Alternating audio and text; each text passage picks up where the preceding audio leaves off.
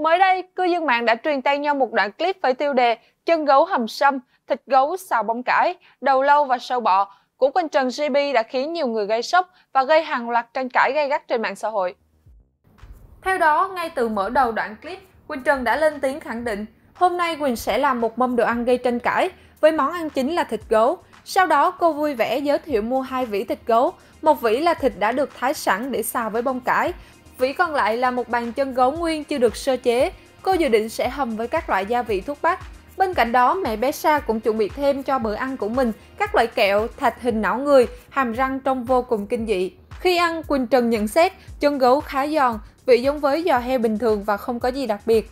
Về phía thịt gấu xào có vị lạ và không hôi. Nhiều người cho rằng đối tượng xem của Quỳnh Trần phần lớn là người Việt, nên việc chọn thức ăn là ăn thịt động vật bị cấm ở Việt Nam là việc quá sai trái. Tuy nhiên, vẫn có những bình luận bên vực Quỳnh Trần GB rằng cô đang sống ở Nhật Bản, việc nhập gia tùy tục nên nếu không có gì phạm luật ở nơi đang sống thì chẳng sao cả. Hiện tại, đoạn video ăn bàn chân gấu của Quỳnh Trần vẫn đang thu hút được rất nhiều cộng đồng người xem. Các bạn nghĩ sao về sự việc trên? Hãy cùng chia sẻ dưới phần bình luận nhé!